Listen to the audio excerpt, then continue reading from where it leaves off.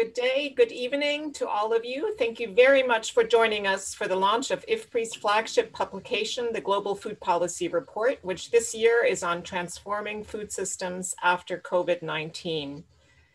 The coronavirus pandemic has taken a terrible toll on human life and health, and it has also upended local, national, and global food systems and put the, hmm. put the sustainable development goals even further out of reach. IFPRI researchers and our partners have spent all of 2020 and continue to ascertain both the impacts of and policy responses to COVID-19. This strong evidence base then allows them to draw some crucial lessons from the world's response to the pandemic, which if heeded can help address future shocks and contribute to food system change. Throughout this program, we would like to hear from you. To participate in our Q&A session, which will follow the presenter's remarks, please make sure to submit your questions on ifpri.org, Facebook, LinkedIn, YouTube, or by using the hashtag AskIFPRI on Twitter. It is now my very big pleasure to invite uh, Dr. Agnes Kalibata, uh, to launch our event today. She is, as all of you know, the UN Secretary General Special Envoy to the 2021 Food Systems Summit. Um, Agnes, we're very grateful for you to join us, and we look forward to your remarks about also how COVID has shaped your thinking as the key architect of this year's uh, Food Systems Summit. Over to you, Agnes. Thank you, Charlotte, and, and uh, thank you for the welcome remarks uh, and uh, for the invitation. Uh, thank you to our IFPRI colleagues. Yeah, thank you to our IFPRI colleagues and the CGIAR in general for, for organizing this meeting, which is extremely important uh, to the work that we are doing today. Uh, the, the, question that is being addressed here, you know, coming back build, building back um, post-COVID is extremely important, uh, given that COVID has definitely contributed significantly to eroding the gains we had made. Uh, we know that this was already uh, happening through climate change.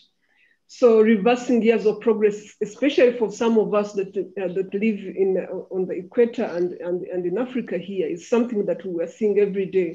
And COVID has definitely not, not made, it, made it easy.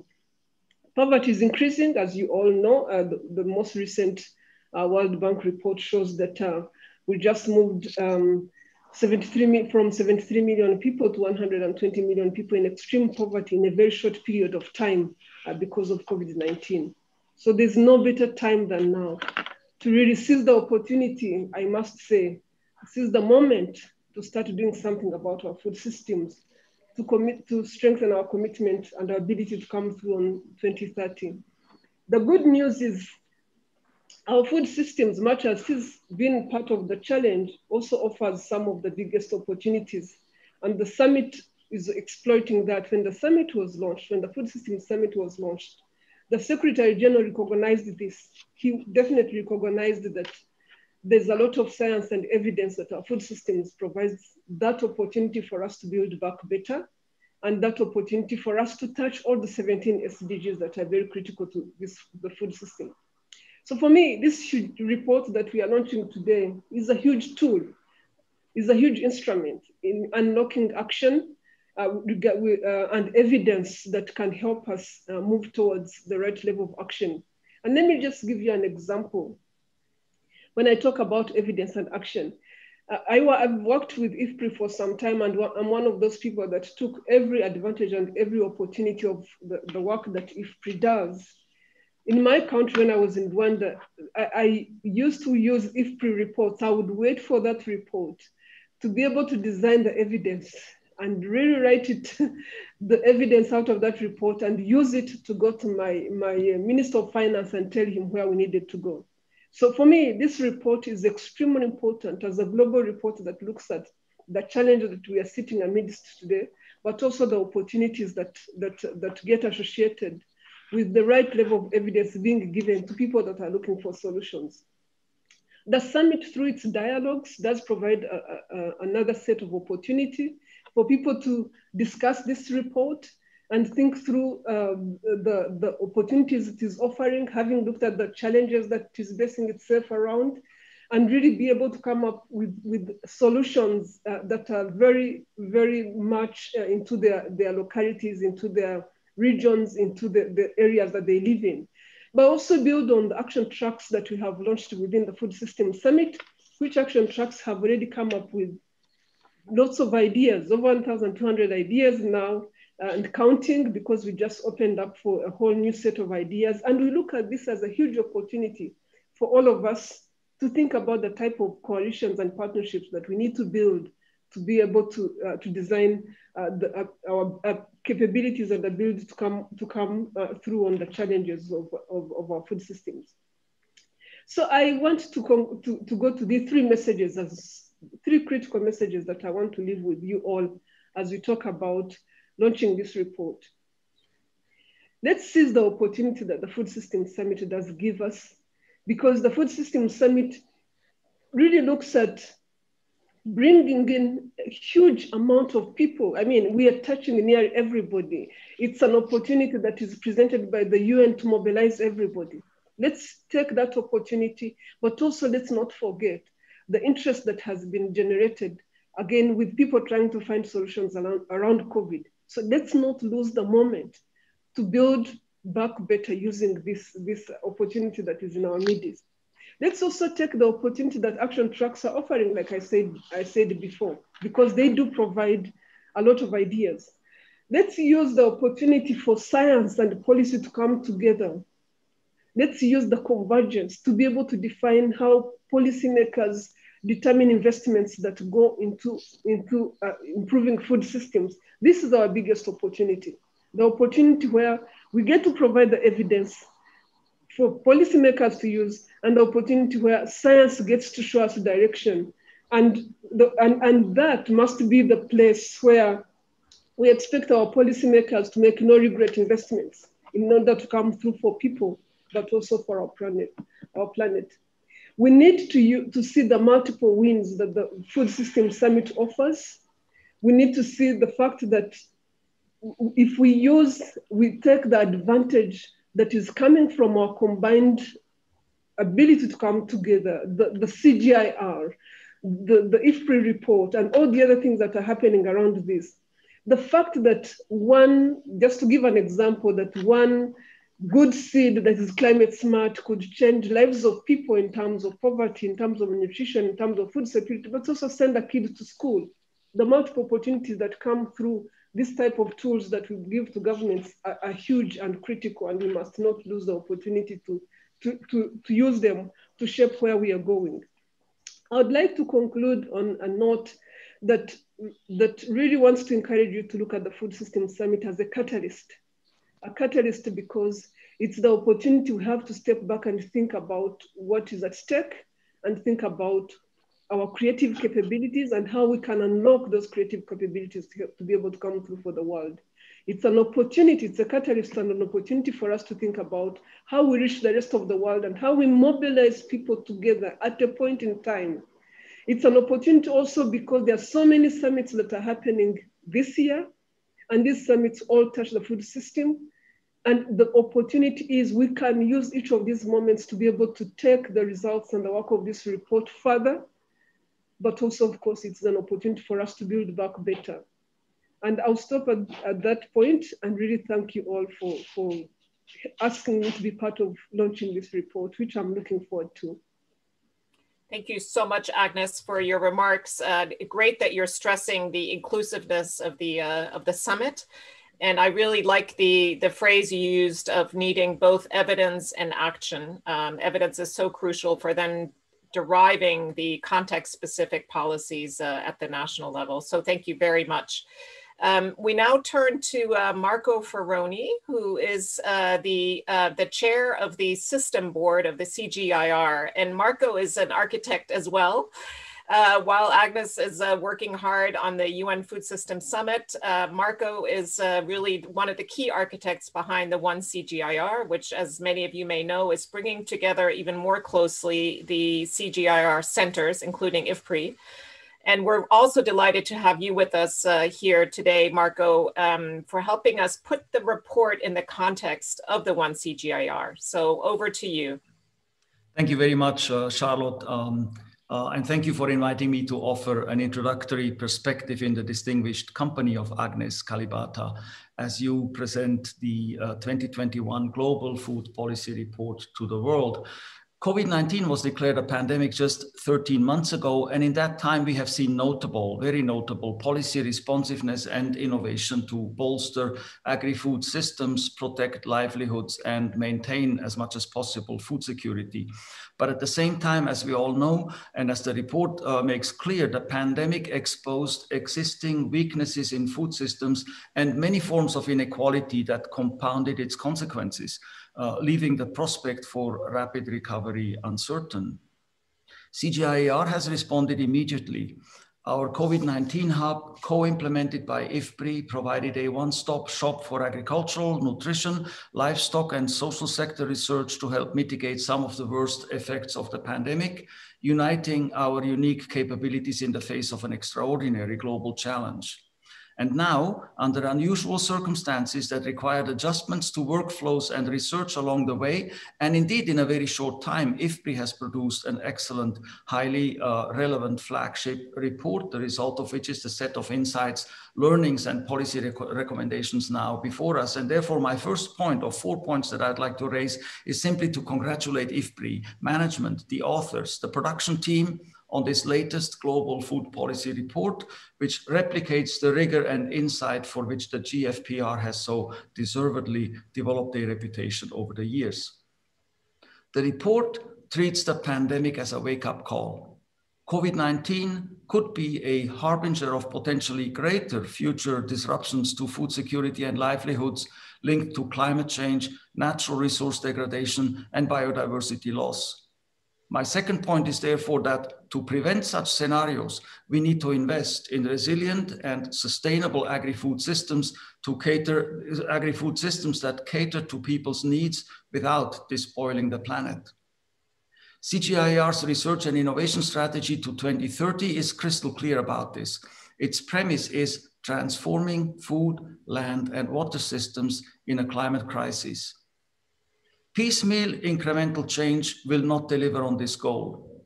Sustainable, healthy diets for all, for example, or the decoupling of food production from excessive land and water use are challenges that technofixes cannot solve. Systems transformation requires coordinated bundles of innovation, technological, social, institutional, and so on, and cooperative solutions to effect change at scale in given impact areas. Systems transformation is therefore about understanding and dealing with complexity through harnessing science and technology, learning from analysis and data, interpreting ambiguity and potential conflicts, and adjusting incentives. As we know at CGIAR, policy research is central to all of this because the greater the knowledge, the lesser the risk. But research alone does not create impact, innovation does. Let us keep this in mind as we define our new portfolio of initiatives. My third point is that systems transformation and the associated prospect for impact at scale are the reasons we designed uh, and are now implementing One CGIAR. Our more fragmented pre-reform condition was not fit for purpose to address the confluence of challenges arising from intricately connected systems that need a coordinated response. One CGIAR with the three science groups now being established as part of our new integrated operational structure provides the institutional framework we need for our scientists and partners to come together. It transforms us into a modern global organization at the cutting edge of research and innovation for policy change, capacity building, and food, land, and water systems transformation. Colleagues, Fourthly and lastly, this year is historically important for the causes we serve. The UN Food Systems Summit will be the global motivating uh, and consensus building event under Agnes's leadership, as we have just heard, the event that the world needs at this juncture. The backdrop will be the lingering pandemic, but from our perspective, also one CGIAR which brings new energy and capabilities to the table as we reposition ourselves as the science and, and uh, innovation partner of choice in tackling key global challenges. The report under discussion today illustrates how much the pandemic has probably set us back on the sustainable development goals. but by calling upon policymakers to redouble their efforts in recommended ways, the report is also instrumental in outlining the way forward. Today's speakers will bring this to the fore. This is an important, timely, and extremely relevant report, and I am certain that we will now have an illuminating discussion. Thank you, Charlotte, and over to you. Thank you very much, Marco. Um, I think it's terrific to hear the, uh, the excitement about this year, both with regard to the coming UN Food System Summit and the work that's taking place on, on 1CGIAR.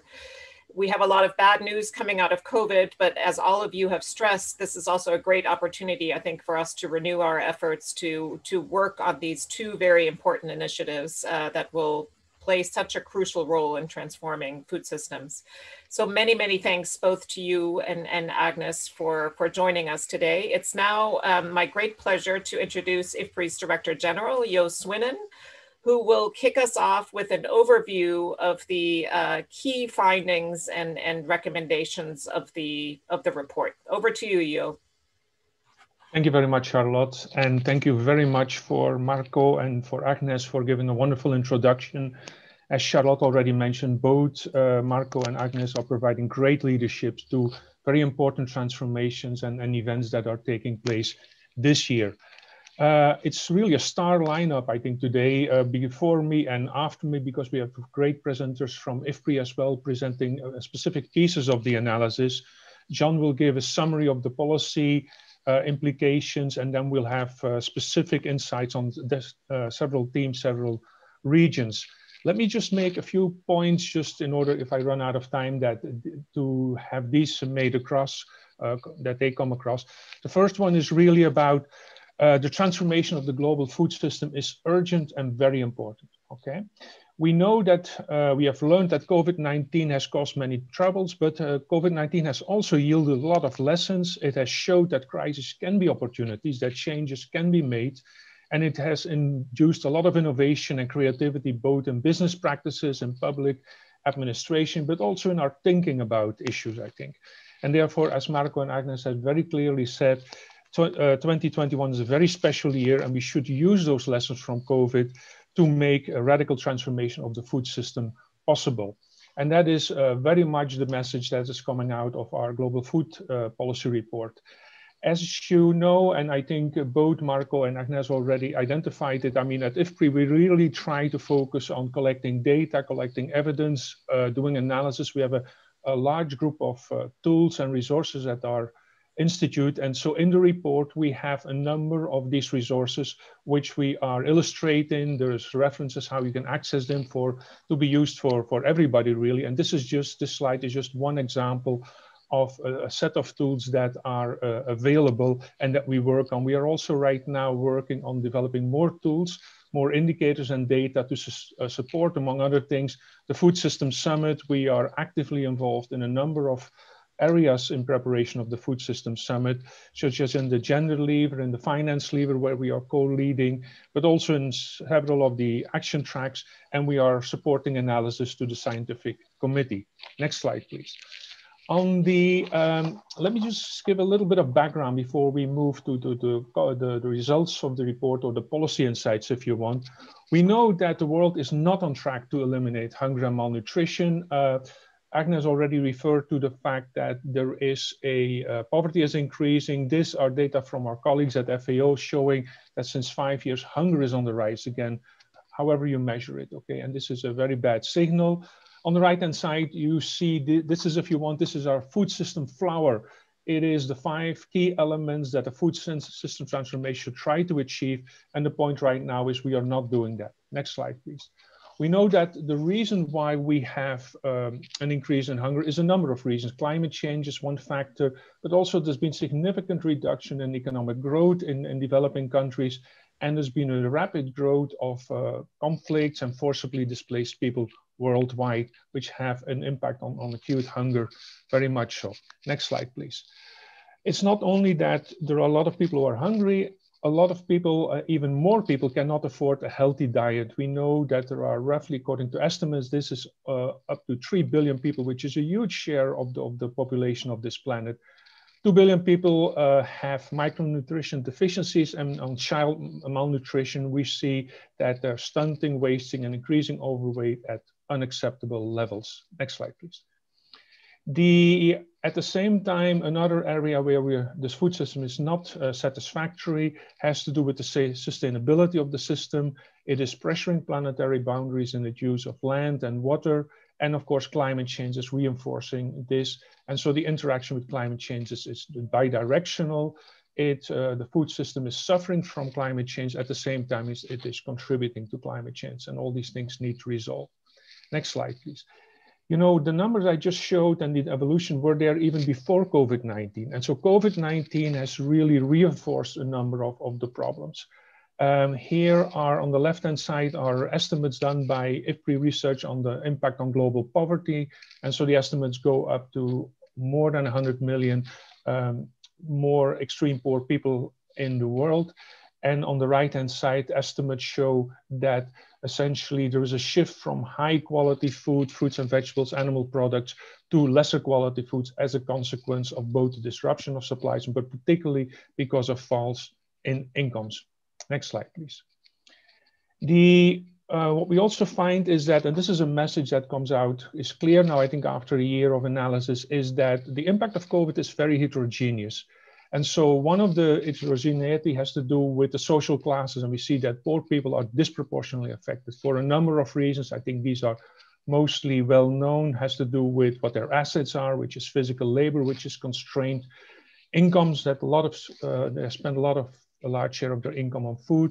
They have more disruptions in their private food value chains, but also in the public change related to social and nutrition programs and to access to health services. Next slide, please. Here are so um, some of these arguments were based on uh, conceptual arguments or some uh, um, modeling. Here we have results from survey work that we have done. This is from Addis Ababa in Ethiopia, and we see that indeed poor people are clearly suffering stronger income decline, suffering more from income declines, and they're suffering more from negative, negative nutrition effects in uh, this region. And this comes back in a number of uh, surveys and studies we have done by now. Next slide, please. The, an interesting uh, fact is that if we look at the impact on rural versus urban in terms of poverty effect, we see that the impact is quite similar. It's very strong everywhere. Um, but in, if anything, the impact on rural poverty seems to be somewhat less than the impact on urban poverty. And this has to do with the nature of the COVID effects. Next slide, please.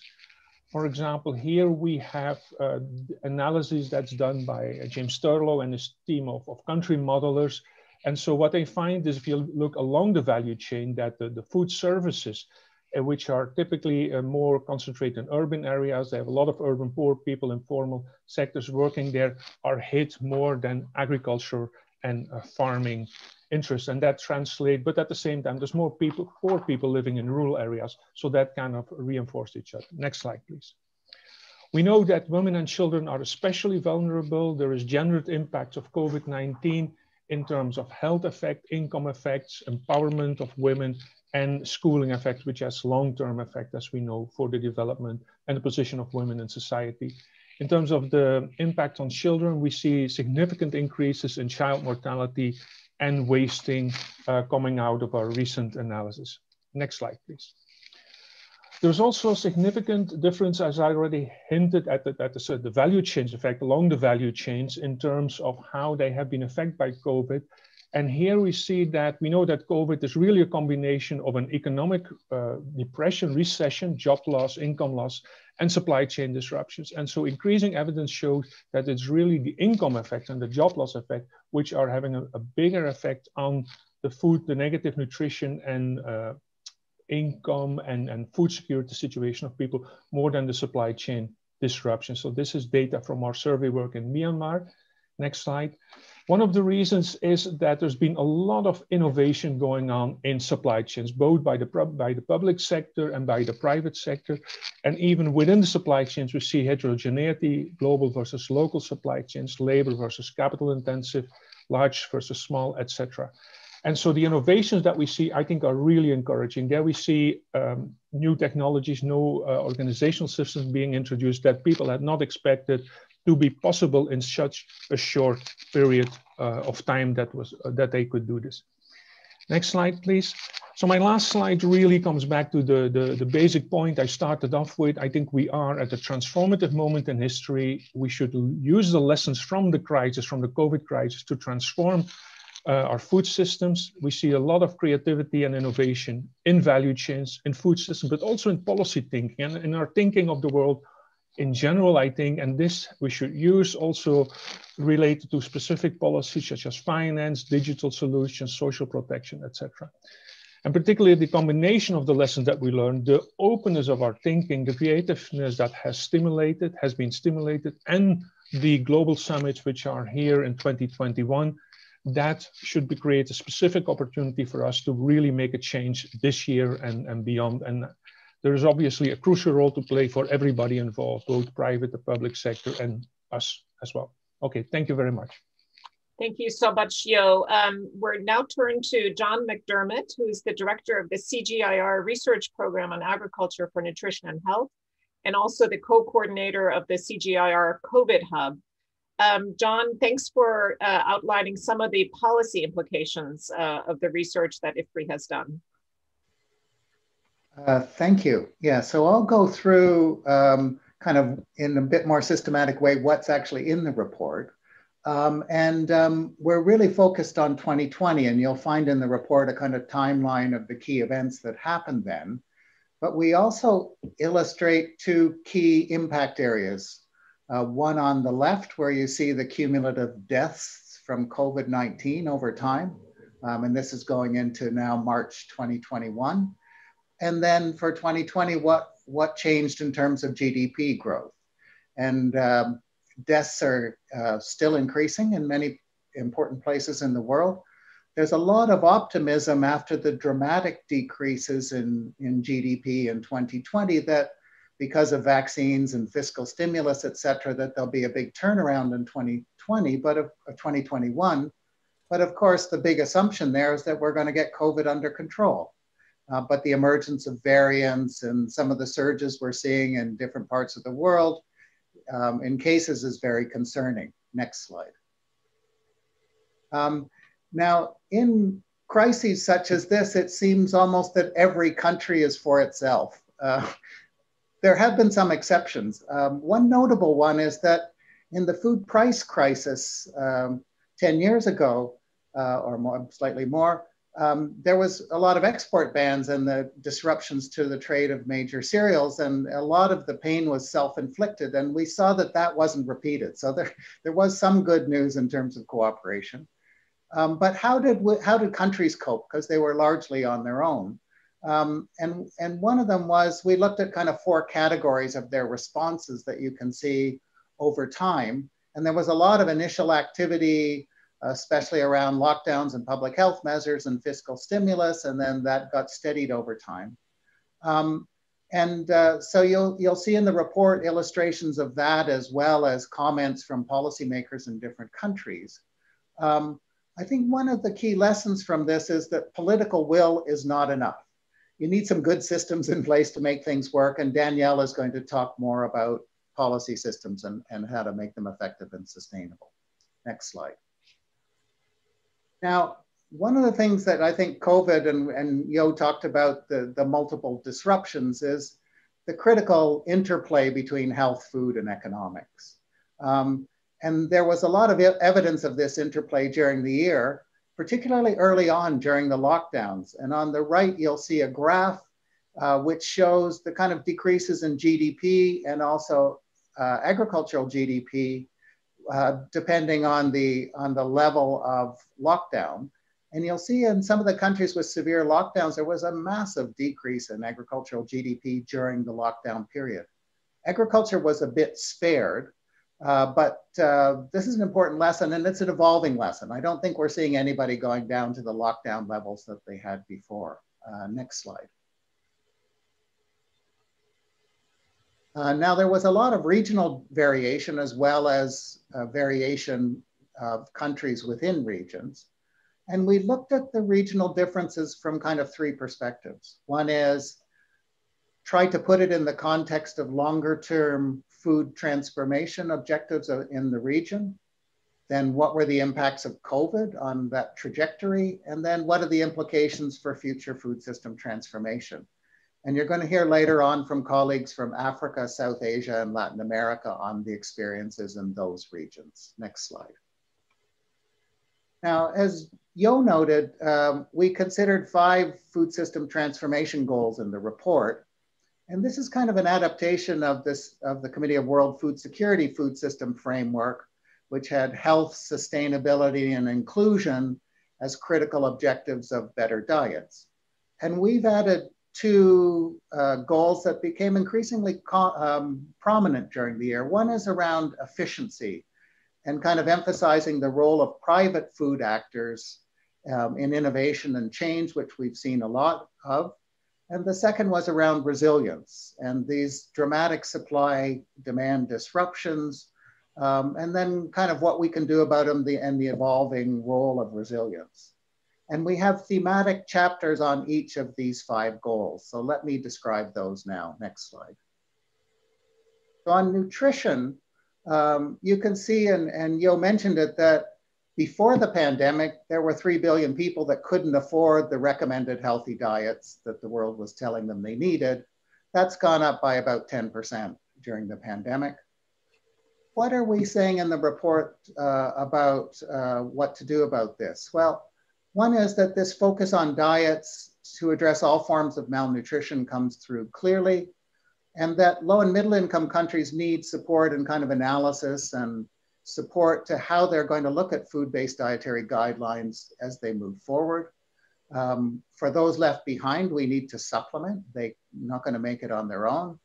And the healthy diets are going to be driven by demand changes and focus on consumers and food environments. Next slide.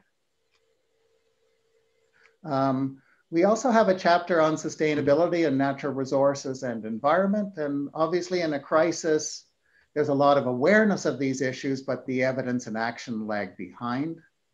Um, there is an interplay between the kind of environmental changes and food system changes we've seen in disease emergence. Um, and we also recognize, and it's been said by others, that climate and other environmental shocks are increasing in both frequency and consequences. So the, the two main responses are how do we build evidence and capacity to integrate environmental sustainability into nature positive food systems?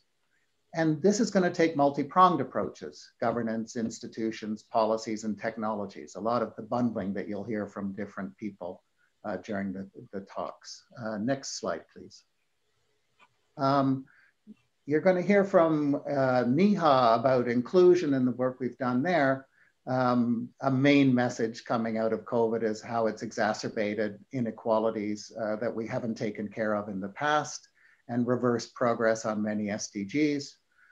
Uh, Jo mentioned about the complex rural urban dynamic that was going on. And there's been major investments made in social protection that Neha will tell you about it because that reflected the urgency of the need and also but those were most effective when we could adapt and scale existing programs. Hard to build something from scratch in a crisis. Uh, next slide. Um, and then you're going to hear from Rob about the efficiency of and food supply chains. Um, and disruptions were heterogeneous, as you've heard, uh, differed by food and food system. Transitioning systems, the ones that are dynamically changing, particularly in lower middle and middle income countries, have the most challenges. Um, but there's been a lot of, of, of improvements. Um, and one of the interesting dynamics is around the uh, interplay between um, public and private sectors, which I'll come back to. Uh, next slide. And then finally, emphasizing resilience. And resilience isn't a standalone topic. It needs to be integrated into the other five goals. And we looked at resilience from kind of five objectives. One is mitigating the frequency and severity of shocks, information systems to help anticipate shocks and plan responses, and building capacity to absorb shocks. Uh, next slide, please. So what's next? What are some of the main lessons? Um, and uh, obviously this is an initial act 2020. It isn't the whole performance and there's still a long way to go. It's an evolving situation Um, and uh, we need more systematic support for vulnerable groups. That's clear that what we're doing now is insufficient. Be prepared for multiple and more frequent shocks as we go along. Um, and there's, but there's been some real opportunities and innovations exposed uh, where private food system actors are really able to move if they're enabled. Um, and then looking beyond the kind of policy actions to policy effectiveness and sustainability is critical, as we've seen. Some countries have done much better than others. Um, and then these cross-sectoral coordination issues between health, economics, and food are crucial. And we have to work to break down sectoral silos. So let me leave it there and hand it back to you, Charlotte. Fantastic. Thank you very much, John. You've done a great job of lining up uh, our next uh, set of speakers and giving an overview of the, the report. We're now going to move into a set of uh, rapid fires, um, and I'm going to introduce the speakers at the very outset, but they will then pass the baton uh, uh, to each other. And before I introduce them, let me remind you that uh, we look forward to uh, seeing your questions. Some of them are already coming in. You can send your questions uh, to ifpri.org, Facebook, LinkedIn, YouTube, or by using the hashtag AskIFPRI on Twitter. So the rapid fires will go in the following order. Uh, first, we'll have Danielle Resnick. She's a senior research fellow and theme leader for governance at, at IFPRI, and she will be discussing uh, um, the chapter from policy responses to resilient policy systems. She'll be followed by Neha Kumar, who's a senior research fellow also uh, here with us at IFPRI, and she will speak about inclusive food systems. How, how can we move towards inclusive food systems, looking at pandemics, vulnerable groups, and the role, the very important role of social protection. Rob Vos will speak uh, on supply chains. Um, he is the Director of Markets Trade and the Institutions Division at IFPRI. Then we move into our three uh, regional overviews. Uh, Sam Benin is the Deputy Division Africa uh, Director for our Africa Regional Office, and we'll focus on uh, lessons learned in Africa. Rashid Shahid uh, Rashid will speak uh, on the perspective from South Asia. And then Valeria Piñeiro is going to speak um, on Latin America and the Caribbean. Uh, let me add uh, that, that, that, Shahid is the director for South Asia at IFPRI, and Valeria is a senior research coordinator.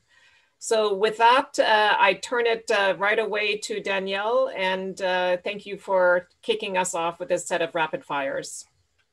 Okay, thanks so much, Charlotte. Really appreciate it.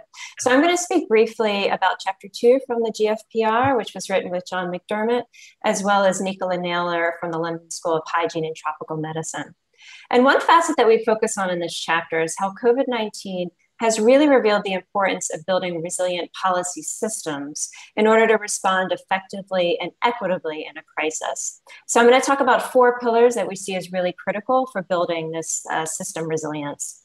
The first pillar is adaptability. This is the opposite of rigidity, and it essentially refers to the ability to modify existing policies relatively quickly when crises emerge and not just revert to the status quo. We found some countries were much quicker to find innovative ways to keep markets working or to expand new approaches to health testing and tracking. In Ghana, for example, using drone technology in remote rural areas to uh, deliver PPE and to engage in, in COVID 19 testing. Sri Lanka, for example, was able to move its centuries old weekly tea auction onto an online platform relatively quickly.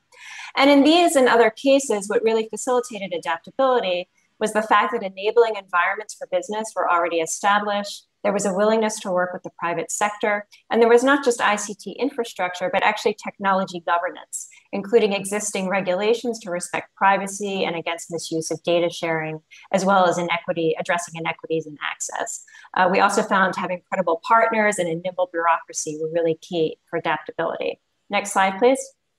The second pillar is coordination and coherence to mitigate volatility, confusion, and inefficiencies in policy responses.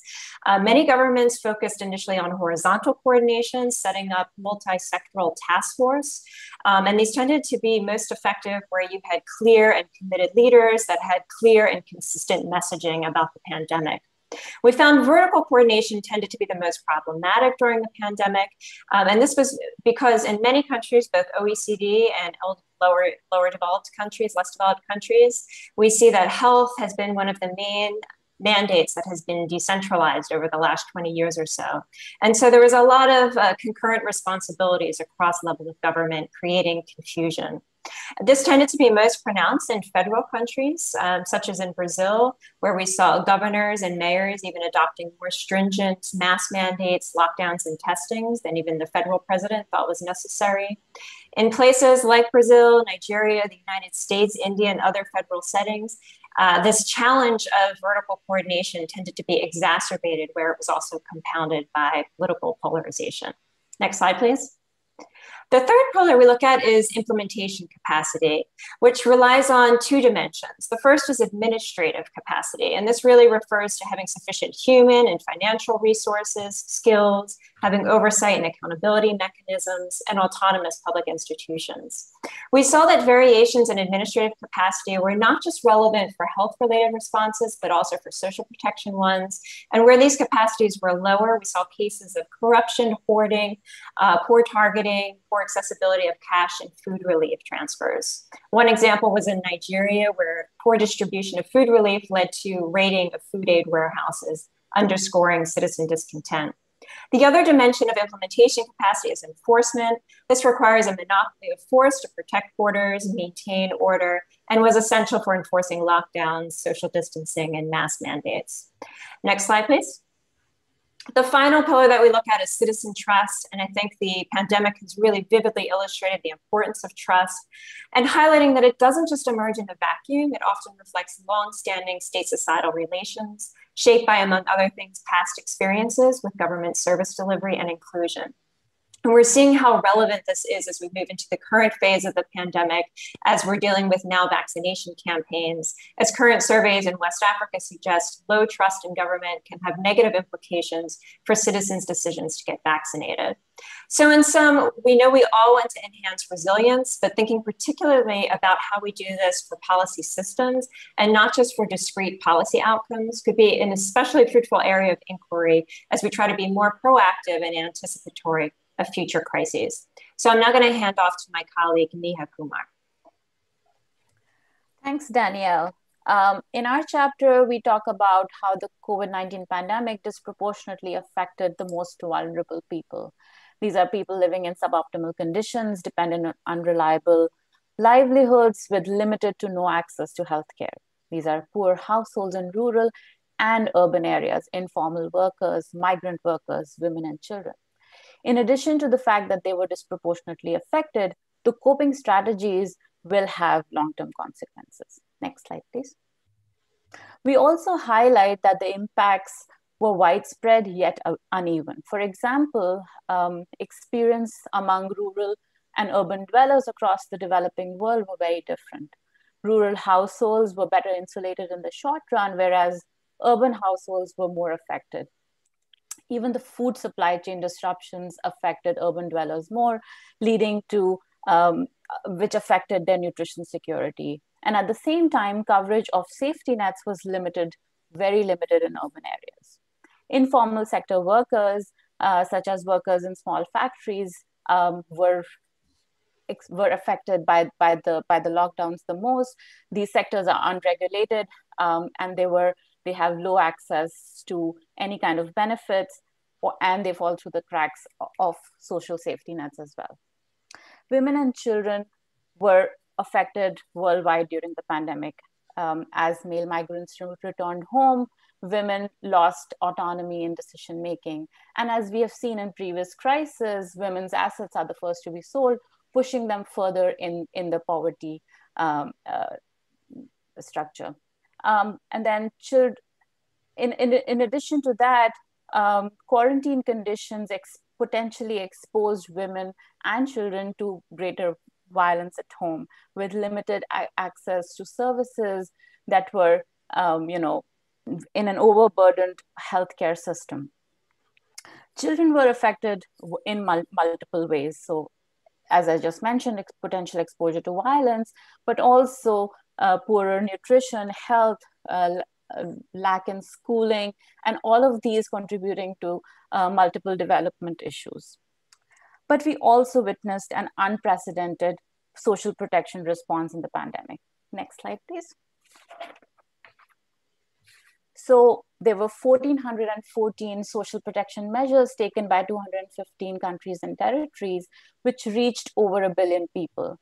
This compared to pre-pandemic levels, the benefit amounts doubled and the coverage increased by 240%.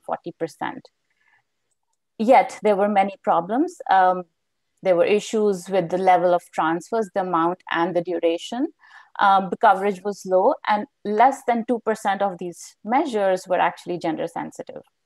But at the same time, they have important lessons for social protection programs going forward. As John mentioned, where the structures were in place, it was easy to go get the get the hit the ground running. But there were also many innovations. For example, 11 countries in Africa made adjustments uh, so that urban dwellers could receive transfers and public works were changed. I can give many examples which emphasize that there's no silver bullet for solving these diverse and multifaceted problems, but the local context, local and context specific innovations will provide the way forward. Next slide, please. The pandemic highlighted the importance of basic needs, safe and clean environment to live in, clean water, stable livelihoods, access to safe and healthy food, access to healthcare, safety nets. It is clear that the efforts in the past were inadequate and that a more systematic approach is needed. Um, and we know from the government responses that we observe that they are great testament, testament to uh, the where there's a will, there's a way. So all we need is is better, more deliberate and intentional efforts with which need uh, which are coordinated across sectors. I will now turn to my colleague Rob Vos, who will talk about uh, food supply chains. Uh, thank you, Neha. And um, indeed, I'll talk about uh, supply disruptions. And uh, as was already mentioned by both Jo and John, uh, different types of uh, food supply chains have been uh, effective differently. At the risk of um, overgeneralization, but broadly, what we find in, in our research is that traditional supply chains have uh, been less affected, uh, relatively speaking, because they use less hired labor, they use their own family labor, so less affected by labor constraints and operate in shorter supply chains. Introducing uh, supply chains, which are sort of transitioning from the traditional to modern supply chains, which are already longer, um, but where um, there maybe still be a lot of um, uh, weaknesses in the uh, different connections between the various segments of the market, uh, like lack of good uh, transportation, um, storage space, and so on. And where also um, firms and farms use a lot more hired labor, those have been much more um, affected by the labor constraints on labor mobility, disruptions in transport, and uh, uh, weaknesses in other supply chain uh, uh, segments. And that has led to a lot more food losses. In contrast, uh, modern firms and modern supply chains um, have shown much more resilience, but particularly capacity to adapt and uh, innovate, and not just by providing protective gear to workers, as shown in one of the pictures here, but particularly also uh, changing their operations and using additional services. Go to the next slide. Uh, we've seen quite a bit of um, acceleration in such innovations um, in how the supply chains uh, operate.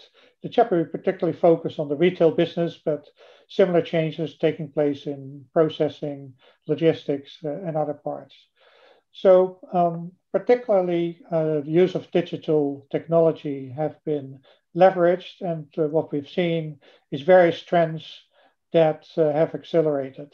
first, uh, we see e-commerce firms that are nothing to do before with the food business entering food value chains. Uh, so for instance, an e-commerce um, firm like a Big Basket in India um, has uh, teamed up with um, Uber India and Rapido, a bike delivery firm, to enter into the food delivery uh, market in, in India. conversely, also food retailers and processors be increasingly using e-commerce uh, for home delivery or to better integrate their own supply chain. So like Walmart, India, large uh, uh, supermarkets chain um, um, acquired uh, Flipkart, which was a more general e-commerce firm, in order to um, uh, boost, give a boost to their online uh, grocery delivery.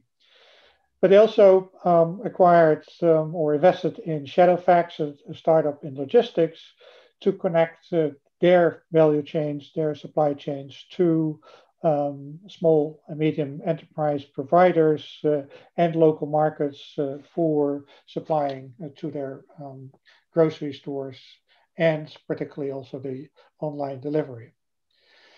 Um, so we see all these uh, changes. They're not entirely new, but it has accelerated dramatically during COVID-19. If we move to the last slide, um, it, what does it mean? Well, here's the just to show all the, the change in the supply chain towards much more use of, uh, of E, what we call E or electronic uh, platforms for SED mediation, logistics um, to connect different segments of the market chain.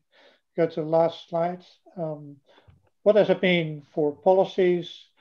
Um, first, um, uh, there's a lot of opportunities out there. And from the examples I've given, see a lot more new dynamics that's creating new job and income opportunities for workers, uh, particularly also small and medium scale enterprises to uh, link up to these uh, modernizing supply chains.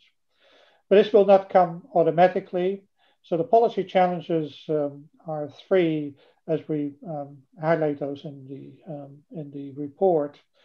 The first is um, for governments uh, to recognize this market dynamics and not to think that they can control it or even generate such dynamics, but rather to recognize it and try and steer it and facilitate these processes, particularly um, in infrastructure, um, there's needs for improved transportation, training, but particularly also the infrastructure for uh, bridging the digital uh, divide. And lastly, um, uh, nothing will work uh, automatically well also with new entrants in the market, uh, e-commerce firms that uh, come from outside of the food business. So the importance of good controls of food safety, food standards becomes increasingly important in order to um, allow for both uh, better outcomes in terms of uh, um, nutrition and food safety, but also uh, to allow um, uh, small market players to stay in business and be able to um, functioning uh, efficiently in those market uh, uh, changed market circumstances. With that, I'll move it over to Sam, my colleague Sam Benin.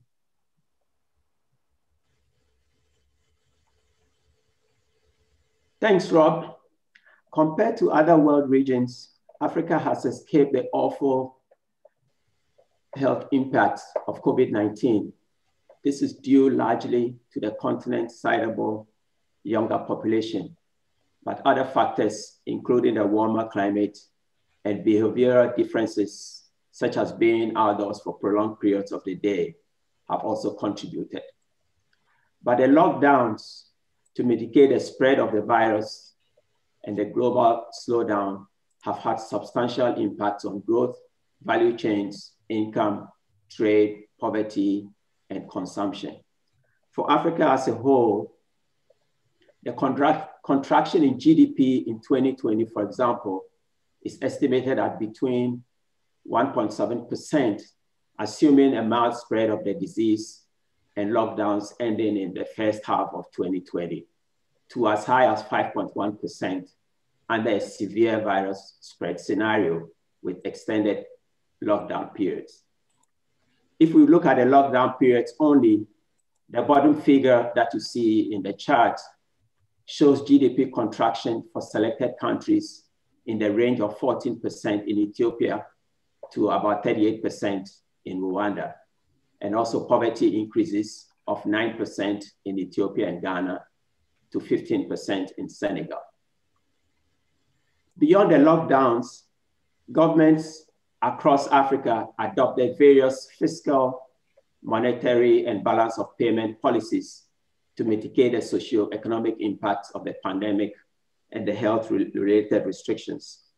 The cost of these policies in terms of higher government expenditures or the foregone revenue is estimated at about $38.5 billion or 2.4% of GDP. Given that governments, many governments across Africa spend 25% of GDP uh, as expenditures, you can see that this is a huge, huge amount.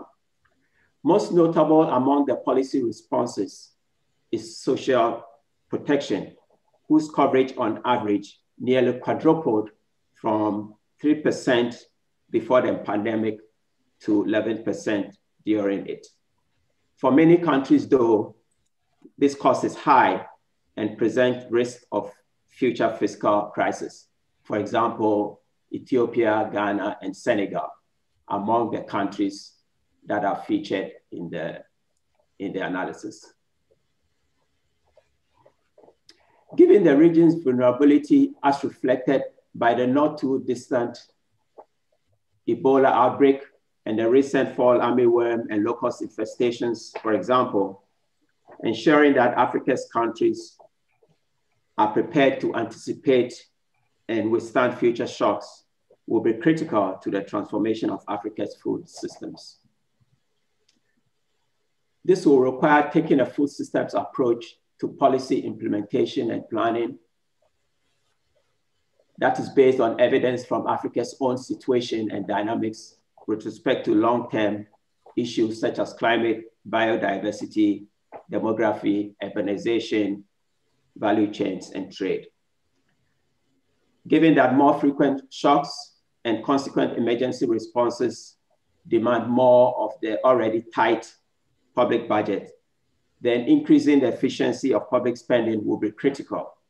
So investment should be ramped up in key areas for long-term growth and productivity, such as infrastructure, early warning and monitoring and evaluation systems, agricultural research and extension, and education and health. These investments will also help mitigate the impacts of shocks and facilitate more effective and efficient responses to the shocks. Thank you, and I hand it over to Shahid for the analysis on the South Asia region. Thank you, Sam, and greetings to everyone, wherever in the globe you are joining us from today. so I'll be presenting uh, insights from the South Asia chapter. And I have framed my presentation with two questions. These questions are, of course, of global relevance, but I'll try to answer them with South Asian perspective. So the question number one is, can there be an economic transformation without the transformation in food system? The answer to that question I think a resounding yes. In fact, that's exactly what we pointed out during the last year's Global Food Policy Report on South Asia. What we pointed out there is simple thing. South Asia was the fastest growing sub-region since 2014 until the onset of pandemic. The signs of economic transformation were obvious.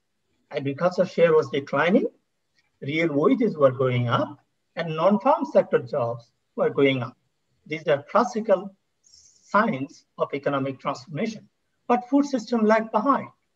Food system transformation, all this structural change did not have significant impact on the food system transformation. So the point is that if that is possible, what, what does that mean for today's context. I'll come back to that, but let me look at the second question now. Can there be a food system transformation without economic and structural transformation? The answer to that question, I think probably no, because food system is a subset of economic system.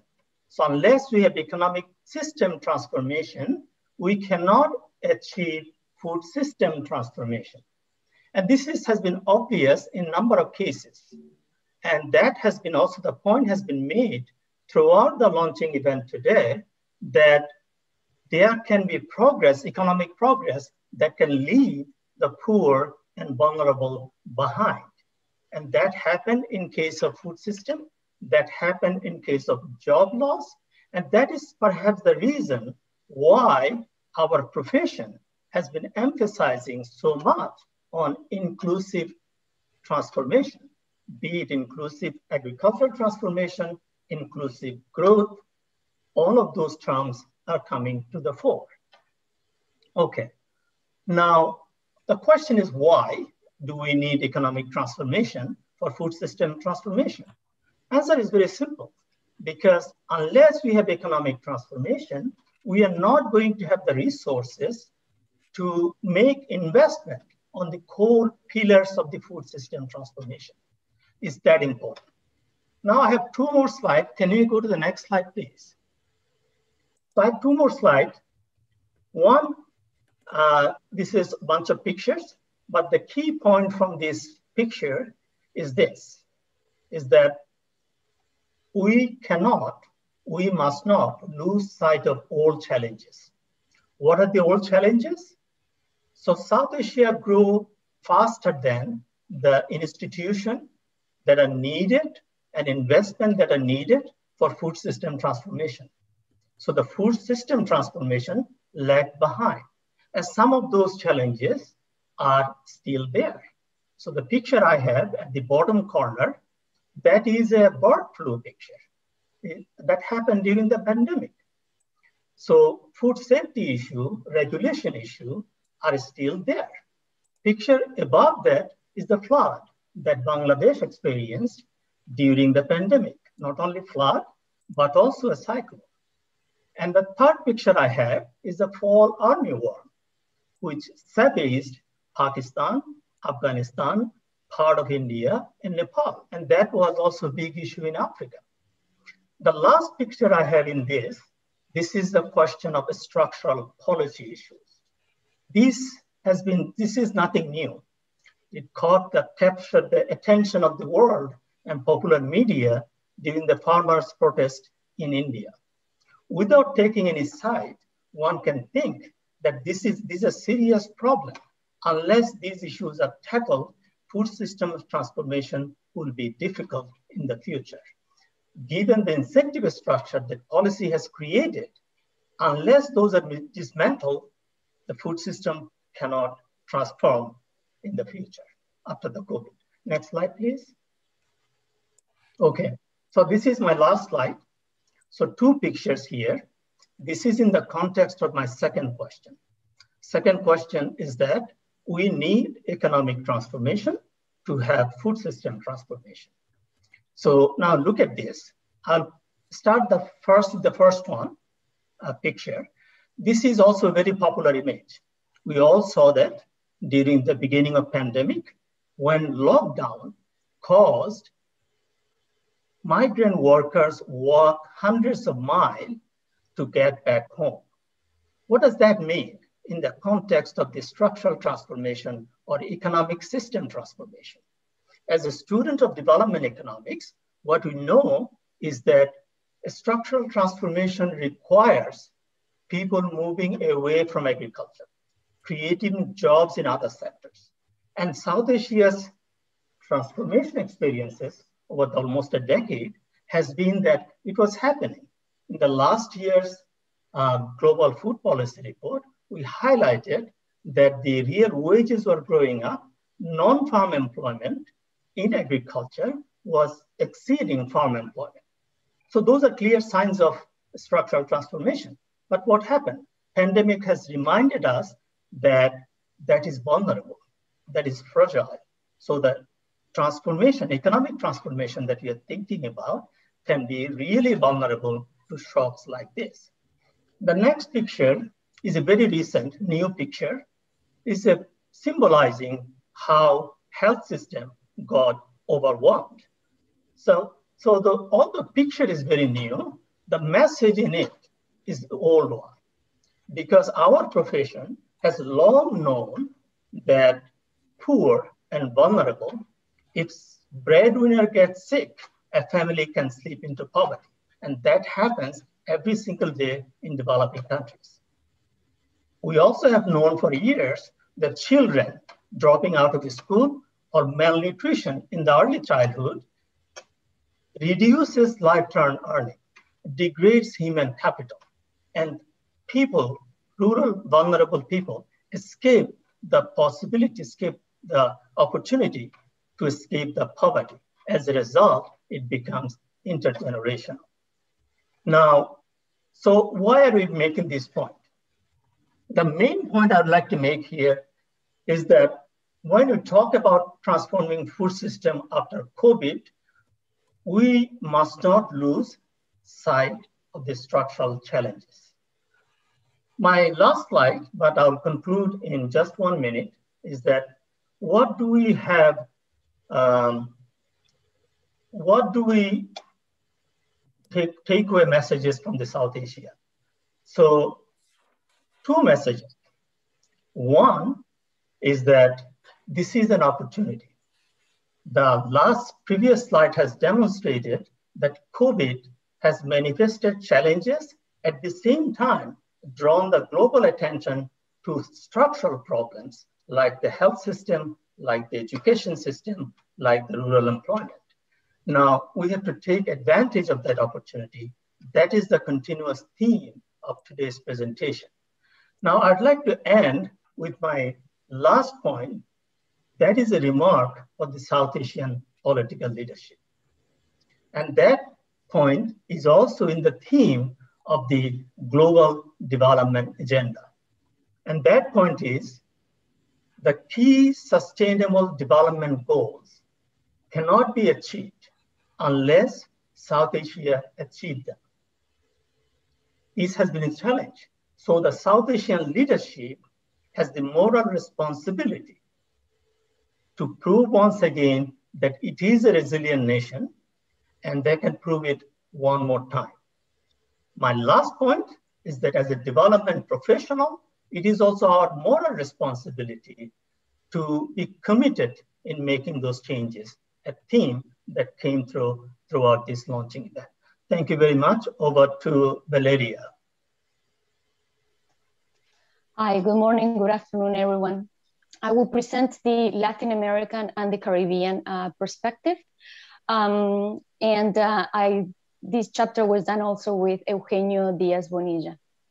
So I would like to start this with just pointing out that the region, it is home of almost 8% of um, global population and about 30% of all COVID-19 uh, deaths. So some characteristics of the region that may explain why it has been particularly vulnerable to the pandemic could be that 80% of the population living in uh, urban areas. Um, roughly half of employment is in informal activities the rates of overweight and obesity are among the highest in the world. And last, the health systems have suffered because of the region's economic stagnation in recent years. So the government have reacted with diverse policies uh, to the pandemic, from strong lockdowns in countries such as Argentina, Chile, and Peru, to allowing economic activities to continue lar largely uninterrupted in cases like in Brazil and Mexico. To stimulus packages, Brazil, Peru, and Chile have spent well over 5% of GDP through fiscal measures, plus similarly large injections of liquidity, while Mexico and Uruguay have spent the equivalent of 1% or less of GDP, and then the other countries are between these two groups. Despite these and other measures taken, the region's GDP declined about 8% in 2020. Next slide, please. And then I would like to highlight the importance of Latin America. Latin America is the world's leading net food exporting region and has a critical role to play in both global food security and in environmental sustainability and biodiversity. So the region's management of the current pandemic and its aftermath will have planetary repercussions globally. So next slide, please. So post-pandemic, the region will need to expand support for long-term transformation of the uh, food systems and redesign safety nets to address both the lingering impacts of the crisis and the vulnerabilities that underlie these impacts. However, we're not there yet. The COVID 19 pandemic has magnified structural gaps in inequality, limited fiscal space, low productivity, informality, and fragmented social protection and health systems. Moreover, the pandemic led to an almost 11 increase in unemployment, a 54% increase in informal labor, and the closure of almost 3 million small and medium enterprises. So with this, the region will need to have a centralized and coordinated mechanism for testing, vaccination, and treatment. Will also need to have a more granular monitoring of possible breakdowns in the agri-food chain. Um, it will need to redesign of social safety nets. We also need to monitor the liquidity conditions of SMEs and their credit situations to avoid bankruptcies and reinforce food safety in, and R&D investments for not only productivity and climate change issues, but also to give resilience to food systems against future pandemics. Um, so I would like to finish this. We just um, pointed out two things that also they were presented by my previous colleagues. But one way that these issues could be overcome or these barriers could be, it could be the use of digital uh, digitalization of procedures at customs and other smart technologies, the artificial intelligence and blockchain, alongside incentivizing the logistics role played by e-commerce and delivery companies. And of course, that also to promote regional integration and cooperations.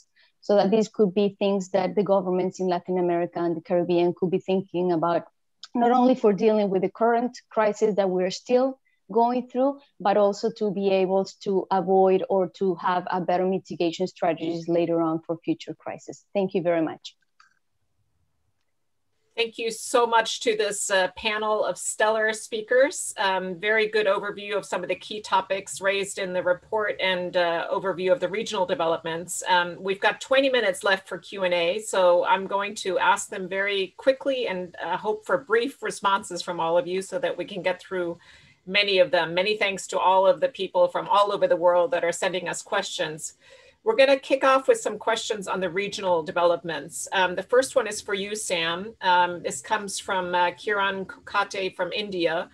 What happens to smallholder farmers amidst this pandemic? Um, are they getting remunerative prices for their farm produce? And if not, how can we assure that they do? Um, so I, I, guess it would depend on which region, um, especially because different regions let's make it for Africa since we're addressing it to you. Yeah, I'm talking yeah. about Africa. That's what I mean. Okay. So the Africa, the regions in, in Africa. Of course. The, the pandemic and it's also the lockdowns, um, especially the lockdowns occurred at different times depending on which region you are. So for example, if you're in Southern Africa, it, the, especially the lockdowns were after the um, agricultural season. And so there you can see that it may coincide with the harvest and and, and others. In the West Africa and Eastern Africa, for example, it did coincide with the beginning of the season during planting, etc. So it would depend at the time of the of the harvest and the sale and things like that. So typically, probably the regions West Africa, East Africa may be hardest hit in terms of getting the inputs for farming, whereas Southern Africa will be will be hit in terms of selling their market output. So th those will be those will be it. But generally, um, um, some of the disruptions in like the markets because um, some of the markets were closed down would have an impact on on prices. Uh, th thanks, Sam, also for reminding me that Africa is many regions in, in mm -hmm. one region. Um, um, Shahid, a question for you from an anonymous questioner. Uh, do you think that we're overestimating the impact of COVID on output uh, the 1918 pandemic killed 10% of India's agricultural labor force, and yet there was no decline in production. And unless I'm mistaken, I think the same is actually true today. Uh, India's agricultural output has not suffered. Yes, absolutely. Uh, so good question. I mean, if we, in the chapter, this is the point we have uh, pointed out. Uh, the region has done remarkably well the food system and agriculture system in South Asia has shown remarkable resilience. Why do I say that? Prices remain stable and agriculture sector grew everywhere. And India's growth in agriculture sector, 3.5%, was actually higher than the previous years. And at the same time, we are not overestimating the impact part of it. We are actually, their region has, uh, South Asia has reason to celebrate. Some programs work remarkably well. For example, Ehsaas program in Pakistan, uh, Pradhan Mantri Garib in India, food friendly program in Bangladesh. So the rapid scaling up of the program was, um, that is what made it possible for agriculture to grow and food market to remain stable. So we are not overestimating. Thank you. Uh, thank you very much. Um, Valeria, this question comes from Dr. Nokuthala Vilakazi. The informal sector plays a huge role in urban food systems. The sector was unfortunately the hardest hit uh, with the pandemic. How do we ensure that the sector is more sustainable and more resilient to future threats? So again, I think that um, um, that in Latin America, it is the same thing that it was said um, in terms of Africa, in sense that it's very heterogeneous as well.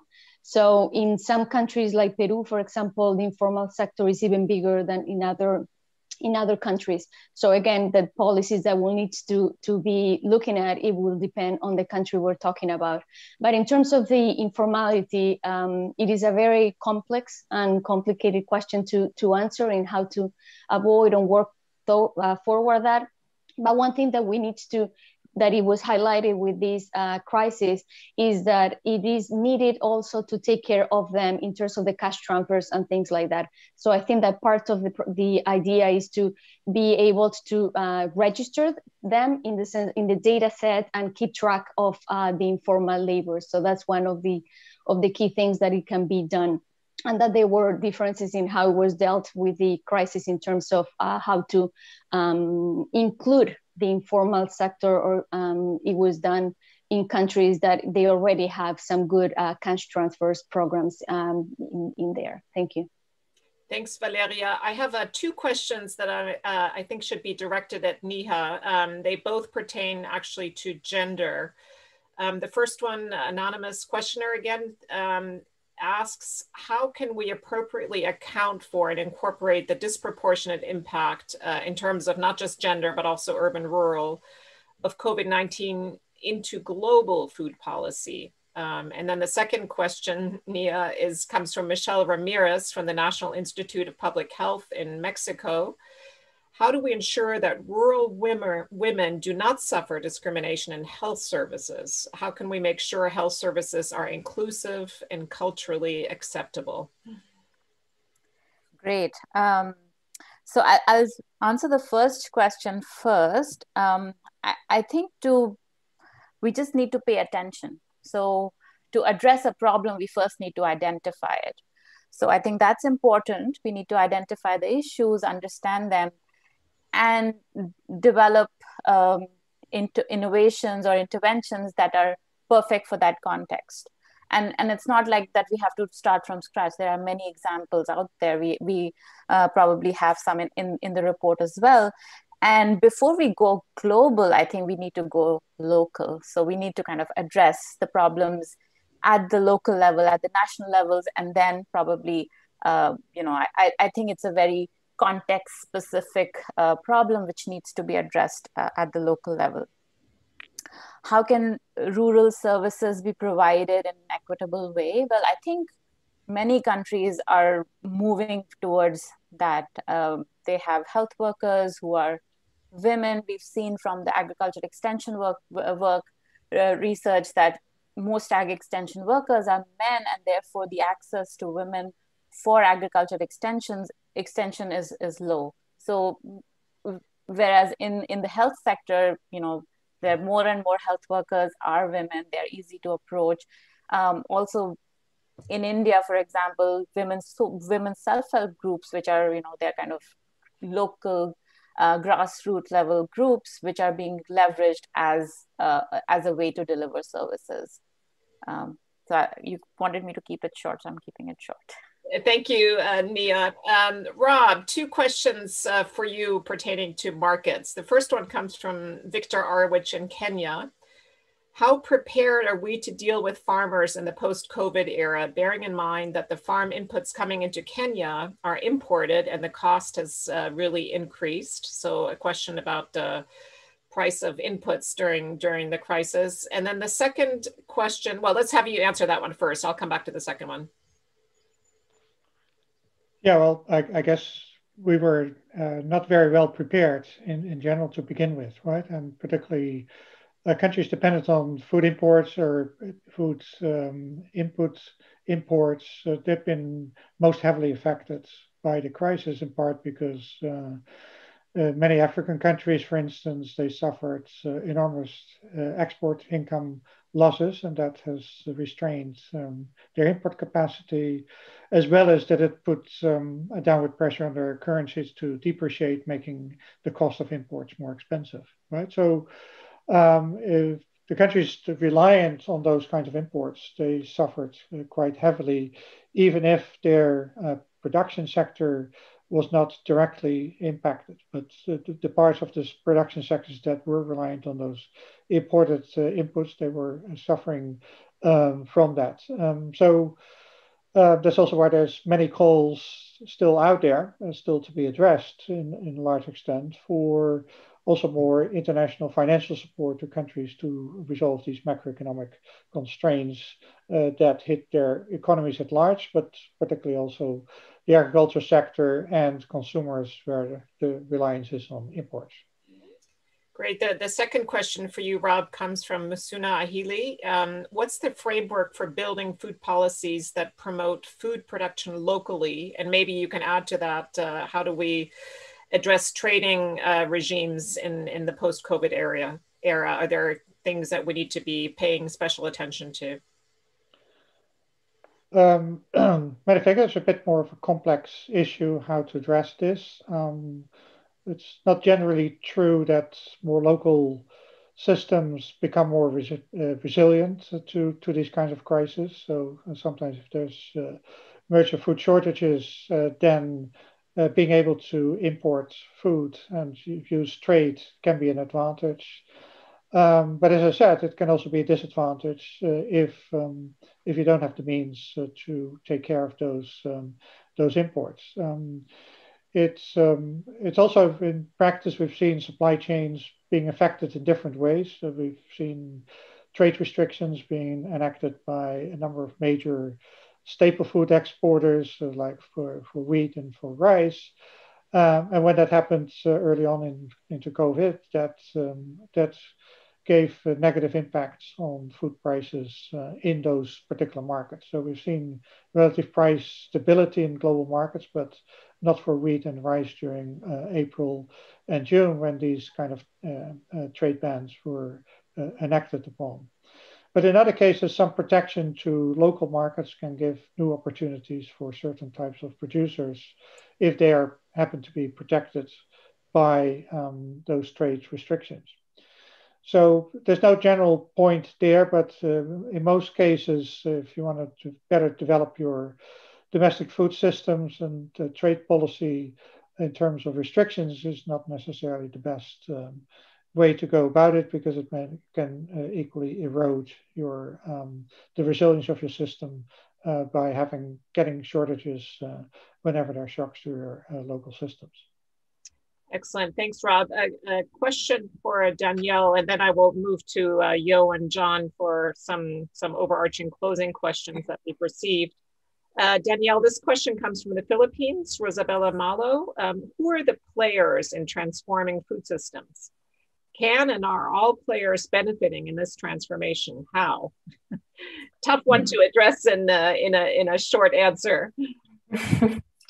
Um, yeah, well, that, that's that's that is a very tough question, um, a really important question, because increasingly, um, and I think we heard it at the outset from uh, from Agnes Kalibata, that there's an increasing emphasis on building coalitions um, for food system transformation and making sure that these processes are much more in- inclusive.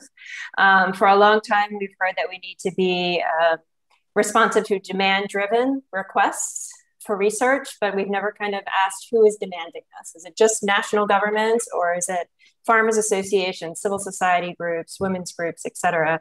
Um, so I think increasingly we're seeing that the, the, the players in food system transformation are many. Um, we're getting away from just talking about um, producers versus consumers and rural versus urban. We have a much more complex group of retailers, processors, wholesalers, um, uh, consumers, et cetera. Um, so it's very complex. Um, and we need to also recognize that, that governments are also complex. Uh, ministries have different mandates and um, budgets and jealousies.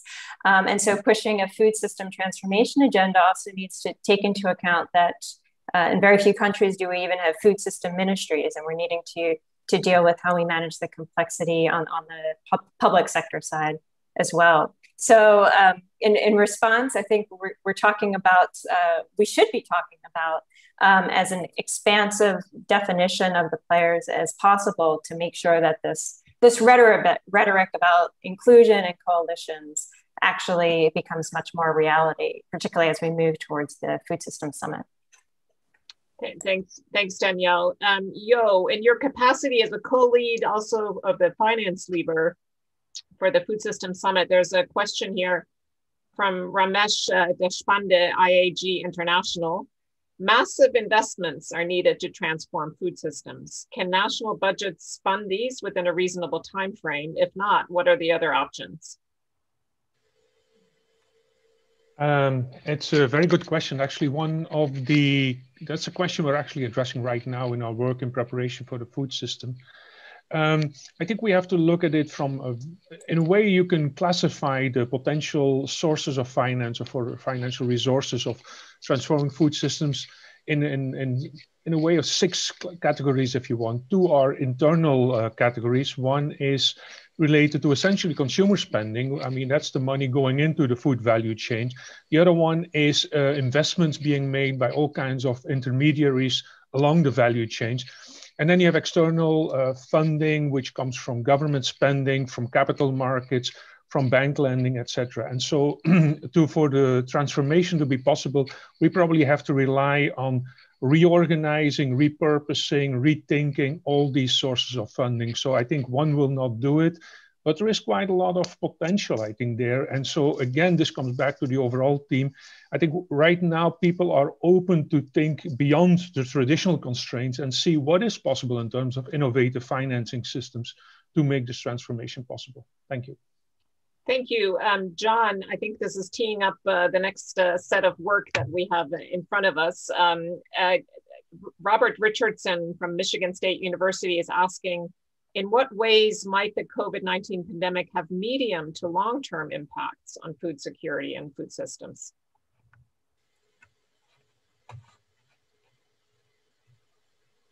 Thanks. Yeah. Um, well, in a lot of ways, I think um, one is um, COVID, I think, is, is a bit of a symptom of underlying stresses that are going to lead us to more shocks, uh, whether they're uh, disease, whether they're conflict, whether they're climate, whether they're financial.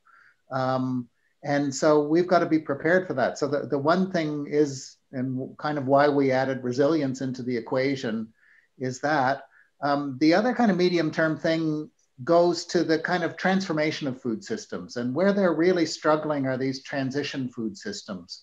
Traditional short chains in rural areas are okay. The modern system is pretty adaptable. They can have shocks, but they're, they have a lot of capacity. It's these transitioning systems we've been talking about, the kind of evolution to informality and things like that. And so getting kind of a clear consensus on what that looks like, how we include people, et cetera, is a is a key issue. You know, it doesn't matter what the GDP is, it's much bigger than that in terms of the benefits for people and stuff like that. I think COVID has shown us that uh, that uh, we're all in this together, and I think maybe those are some of the underlying medium and longer term issues.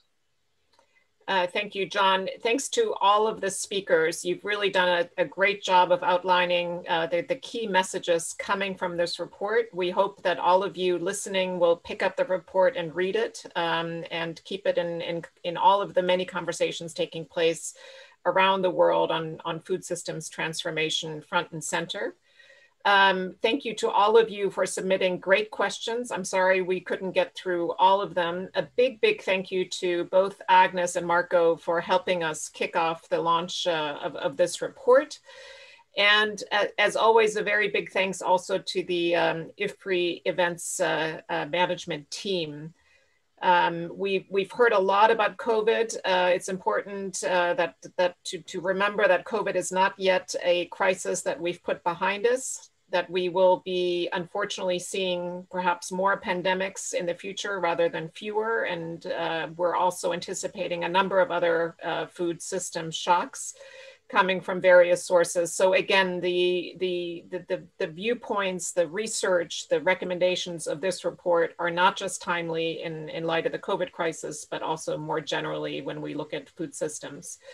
Um, we will be having a number of regional events also on, on the report, and I'd like to remind you about one that's coming up um, already uh, in a couple of days, April 15th. Uh, we have a discussion for the Netherlands about the, the report. Um, so if you'd like to tune into that perhaps more European perspective on the report, we invite all of you to, to join that as well. Have a great uh, rest of your day and evening, and thank you again very much for joining us.